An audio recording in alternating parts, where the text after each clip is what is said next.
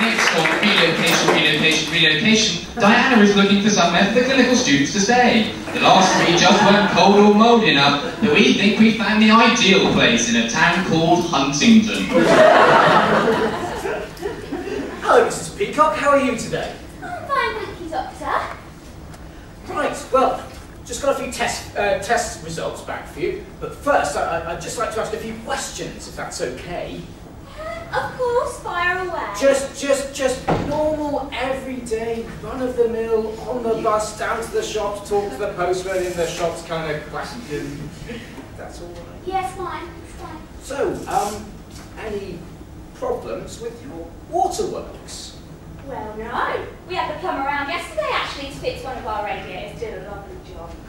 A lovely job. I reckon highly recommend. Well, good, yes, but any problems spending a penny? Well, no, quite the opposite, Doctor, really. What with the new conservatory and these sales on. I'd be lucky if I had two pennies to rub together, to be honest. No, uh, great, great, but no. But what, I suppose what I'm asking is, do you ever get caught short?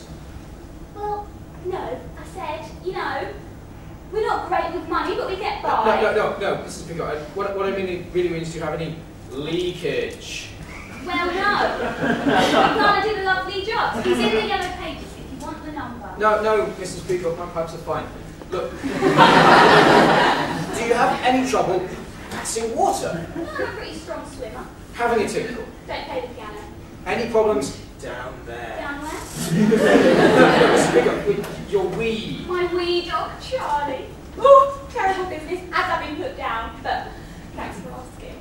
Great, great. But look, look, Mrs. Pico, do you have any problems passing urine into the toilet? None at all, Doctor. You only had to ask. Hey, hey, hey, hey, got a joke for you, joke for you, joke for you. Yeah, yeah, what's it? Uh, yeah, I was, uh, went to my, watched my friend Chord Even song the other day. Oh yeah, how was it? Oh, it was alright. I think it's a bit of an acquired taste. Disappointing, Nathan. Right, Mrs. Pico, just, just some more questions. How are your stools? Oh, you must have seen our advert in the paper. Lovely work, hand turned, hand carved.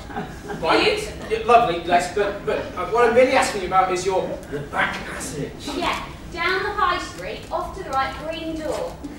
Harper's Stalls, can't miss it. Yes, fine, yeah, but, but, but what I, I guess I really want to know is about your calls of nature.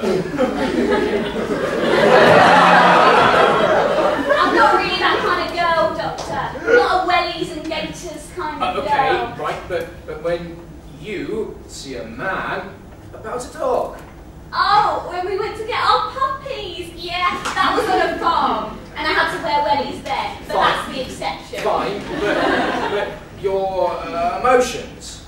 My emotions. Bit of a curveball, Doctor, but I know you like to be a bit touchy-feely. No, no, no, no! Mr. I don't care! No. no. What I need to know is your excrement, your fecal matter, your poo! No problems at all. Honestly, Doctor, don't get so flustered. Polo. Yes. Did you hear the one about the prostitute who slept with people whilst the canapes were being served? No, Nathan, I did not hear the one about the prostitute who slept with his clients when the canapes were being served. She was a whore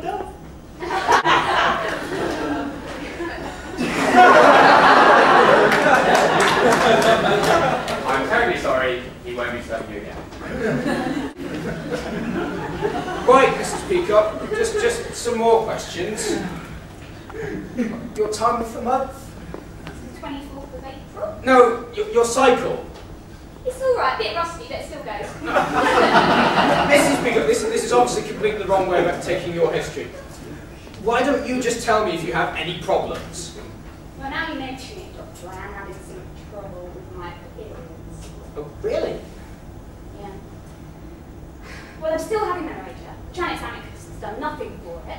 I've got deeply retrograde pain. It's really affecting my relationship. So I'm due for my pap smear, but it's not going to happen with my menses like there are, they are. And to be honest, now I've developed right lower quadrant pain. Ibuprofen doesn't touch it. It's not radiating, but uh, I rate it 5 out of 10.